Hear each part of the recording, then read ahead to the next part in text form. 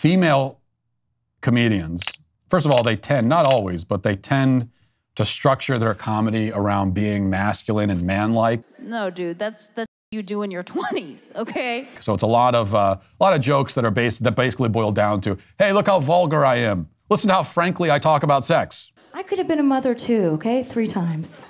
This is what men usually do, but I'm doing it. Isn't that funny? So it's a lot of that kind of thing. And then also, I think self deprecation is an essential ingredient in being funny. Really funny comedians are extremely self deprecating. They're willing to make themselves the butt of the joke. But in particular, these feminist comedians, they really struggle in that regard.